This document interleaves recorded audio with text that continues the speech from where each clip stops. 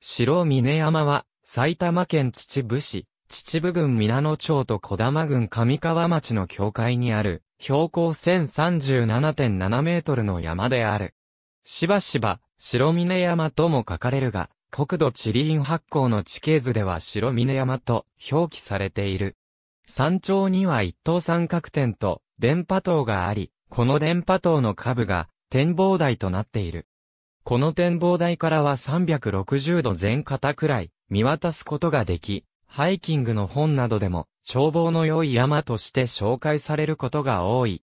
平野正門がこの山に立てこもった時、愛称の気境が敵方に密通したと疑い、正門は気境を切り捨てた。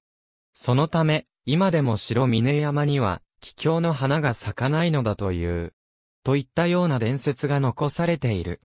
また、山頂下には追われた正門が隠れたと伝えられる岩がある。皆野町の門平バス停から金がかり城を経て、白峰山に登り、上川町の東線橋バス停に下る道が、関東ふれあいの道正門伝説を探る道として整備されている。秩父市の満腹寺バス停から登る道もあり、ハイキングの本などではこのルートから門平バス停へ下るコースが紹介されていることが多い。